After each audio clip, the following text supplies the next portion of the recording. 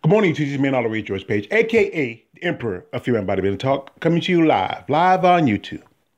Anyway, today is a very special day to a very, very special lady, and this was to uh, very wish a very happy birthday to one Miss Sue Price.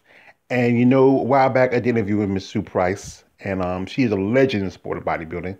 Um, even though she wasn't a, uh, as a pro for very long, she's been in sport from the uh, good part of the 90s and she um, had a great impact to me in the sport.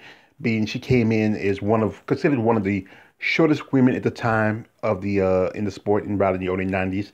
Most time um, she competed as a lightweight as amateur, and she made a pro debut about around 92, 93.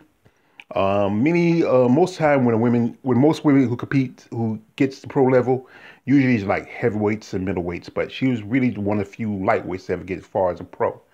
But for her size and her and her physique, she had an amazing body, and you know she was just just just had a great look to her.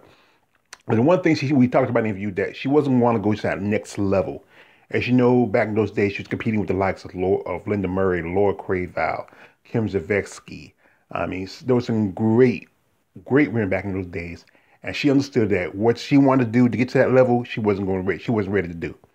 But you know, I respect that decision for her to walk away from the sport. But after that, she also had a career in acting.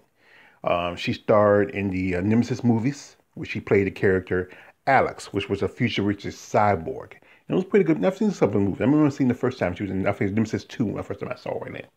And then after a while, she settled down, got married, and had two wonderful kids. And, you know, she's proud of her kids. They uh, now are going to school and working, you know, establishing themselves as adults. And also, she's a hardworking member of the United States Postal Service. And you gotta respect that because one of my sisters, she used to work for the Postal Service. She worked in the sorting um, part of the uh, uh, plant where they sort the mail. And that's a tough job. And she's a mail, and Sue's a mail carrier. And right now she's out on uh, medical leave because of shoulder issues.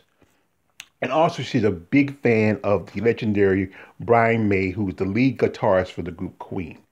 And well, most people are more of the Freddie Mercury fan, but can't respect the fact that she loves Brian May. That's a she's a she. If you go go to her her Facebook, she has a lot of Brian May pictures. She loves Brian May, and I like Sue. She's a great lady, a great legend. I mean, a beautiful person inside and out.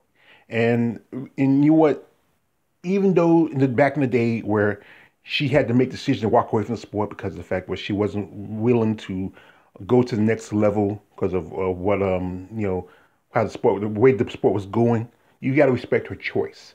But today, I think if she was competing, she would make a great physique competitor. You know, you know, and, and this is, I think, the reason why this. She's the reason why I think they really want to see more of a classic look in the in women's bodybuilding division.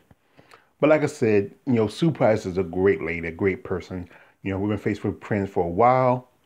We often um, chat every now and then on Facebook. She posts some stuff. I reply. She replies to my, you know, every now and then. I think um, this is why I'm doing this because you know I really like Sue. And I want to wish her a very, very happy birthday and many, many, many more. It's your man Oliver George Page, aka the Emperor of Female Bodybuilding Talk. Like, don't like, subscribe, don't subscribe. I'm out.